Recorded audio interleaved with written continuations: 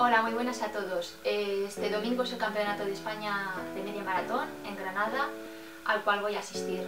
Eh, mis ambiciones son las máximas para este campeonato, puesto que creo que, lo tengo en las piernas, que llevo unas semanas de duros entrenamientos, pero con unos grandes resultados. Así que, como digo, voy a aspirar a lo más alto que pueda llegar.